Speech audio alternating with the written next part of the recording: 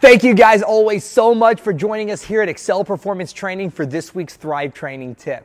Now, this whole month has been focused on soft tissue release, mobilizations, a bunch of different foam rolling techniques that you can use.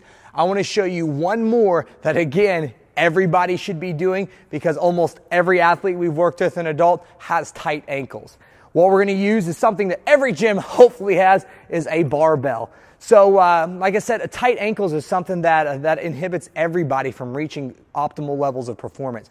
Whether that's affecting your squatting, your sprinting, or even if you're just having difficulties walking and running, this exercise is going to loosen up all those nasty tissues, get those ankles to move the way that they should, so your performance doesn't suffer and your uh, performance goes through the roof. Sorry, that's a lot of performance.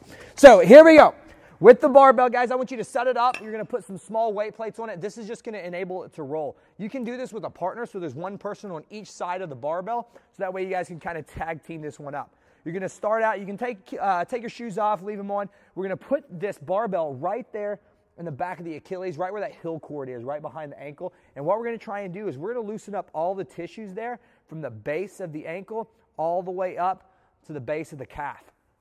So, put that ankle or that heel cord in. You're going to cross your other leg over, reach for it, and this is going to wake whew, those ankles up. We're going to roll back and forth into that barbell and slowly work that barbell up to the base of the calf. We can do a few things where we flex and then extend. We can rotate side to side and just work that barbell deep into those pockets of nasty tissue that are inhibiting the way we move, guys. Again, just like we talked about with foam rolling, this is search and destroy. So you are finding those tight areas and breaking them up so that way you can get those ankles to move better. Now, this is something you can kind of test and retest yourself after you do this. So before you do this, what you can do, keep your heel on the ground, your toes pointed straight. See how much ankle range of motion you have. How far can you push your knee forward before that heel comes up off the ground?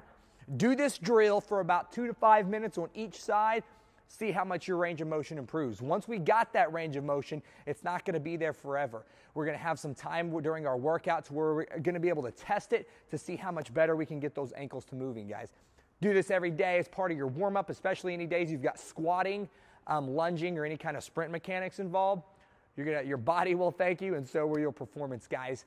Thank you so much, as always, for watching. Please check us out on our website, excelperformancetraining.com. Like us on Facebook, follow us on Twitter, Instagram, and be sure to subscribe to us on our YouTube channel for more amazing content just like this. Thank you guys as always for watching, and back to you in the studio.